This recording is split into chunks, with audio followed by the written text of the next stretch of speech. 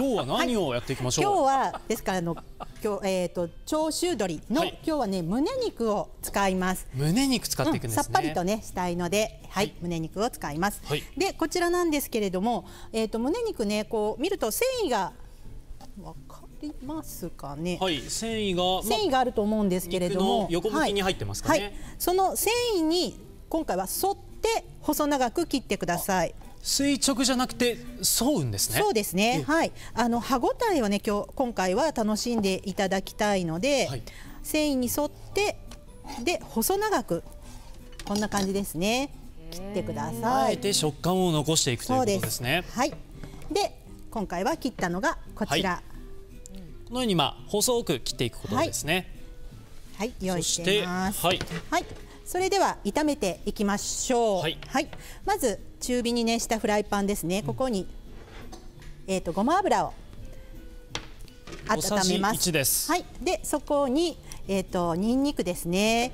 これも薄切りにしたものを炒めていきます。一かけ分薄切りにしていきます。はい。で、ニンニクからいい香りが立ってきましたら、えー先ほどのね切った鶏肉ですね。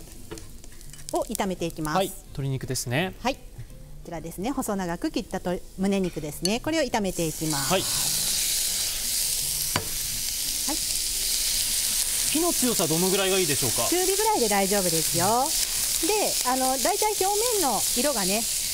軽く白く色が変わったぐらいで大丈夫です、はいこの後また煮込んでいきますからねここではしっかり火を通す必要はありませんはい。はい今回使うのが長州鶏ということですね。はいもう山口県民ならもうみんな知ってる食べたことがあるっていうね美味しい鶏肉だと思いますよ。はい。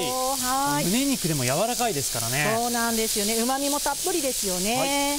はい、じゃあ色がだいたいちょっと変わってきましたので次の食材入れていきます。はい、で次もう一つの今日主役なんですけれども、長州干し椎茸使います、でこれはねあの前の晩から一晩水につけて戻してください、はい、一晩、えーゆっくりと戻すことで、えー肉厚でふっくらとね美味しく戻りますよ、はい。それをやはり同じようにあの細長く切ってください。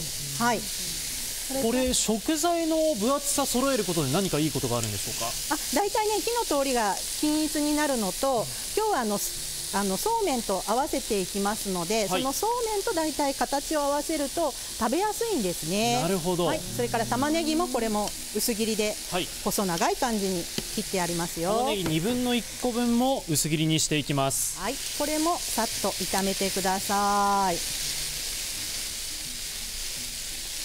そして、あもう香りが立ってきましたね。ねえ、椎茸のいい香りも立ってきますよね。はーいそしてやっぱり担々そうめんということですから、まあ、はい。普通だったらひき肉使ったりもするんですけども今回はお肉をたっぷりと。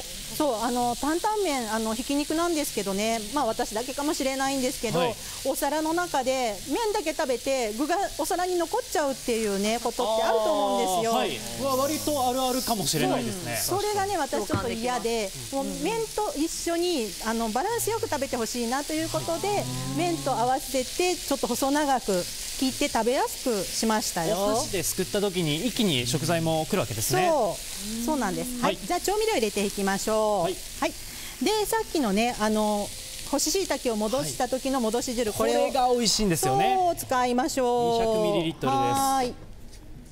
それから、はい、どんどん入れていきますね。はいお醤油、それからお酒ですね。お酒です。醤油大さじ1と2分の1、お酒は大さじ2になります。はい、そして最後お砂糖も入ります。でこれで、えー、とこの煮汁がだいたい煮詰まる感じになるまでちょっと煮てください。はい少し火は強くしますか？そうですね煮立つまではちょっとお強くして煮立ってきたら中火ぐらいに落としてください。はいでこの間におそうめんも茹でておきましょうね。そうですねはい。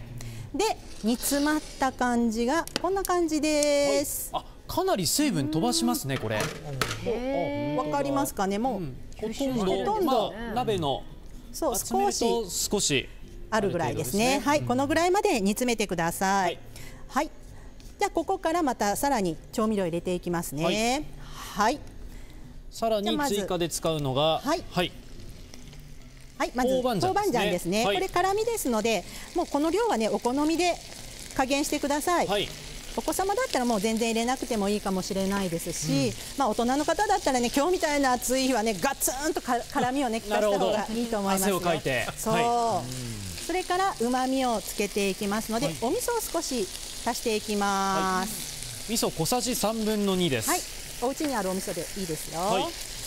これ豆板醤とお味噌だけ水分飛ばしてから使う理由は何かあるんですあか、えーとですね、お味噌香りのものですし、まあ辛みはね、もありますので、あの最後に入れた方が、あの旨味とかあの香りがと飛びすぎてしまいますので、最後に入れましょう。なるほど。はい、そして、水溶き片栗粉です、これはねしっかりとお水に片栗粉をつけて、えー、としっかり粉に水を吸わせてください。で片栗粉と同量のお水で溶いています、片栗粉小さじ1に対してお水も小さじ1ということですね、はい、でしっかり水分吸わせ吸わせることですね、でこれに加えていきます、もうこれは本当に仕上げの段階で入れるぐらいはい。でちょうどいいですかね、と思いますよ、こうするとねしっかりととろみがつくんですよ。ははい、これ水分はもうだいぶ少なくなってますけどとろみっていうのはしっかりつくんでしょうか？はい、もうねほらとろみがついてますよね。だいぶはい。変わりましたね、はい、では盛り付けていきましょう、はい。こちら茹でてるそうめんですね、はい。用意してありますもうこれはねお好みの量を用意してくださいね、まあそうめんといえばめんつゆというイメージがあったんですけども、これだったら具だくさんでね食べれますからバランスもいいですよ、そうですね。はい。はい。それからそしてここでまあお好みの野菜を入そうれていくわけです。ね。彩りで、はい、生今回は夏らしく。はい。トマトとよいしょ。トマト。そして、とねオクラですか？オクラですね、はい。ちょっと縦に細長あく珍しい切り方はい切りですねましたそれからやっぱり夏といえばはい、きゅうりですね。細切りにしたものですね。そうですね。はいこんな感じではい。彩り添えてください。はい。そしてさらに仕上げがあります。はい、香りを効かすためにちょっとごまをねひねりながら散らしてもらうといいと思いますよ。はい。そしてちょっと辛みを効かすので糸唐辛子も添えます。はい、これで完成はいです、長州鶏と長州干し椎茸を使った汁なし担々そうめん完成です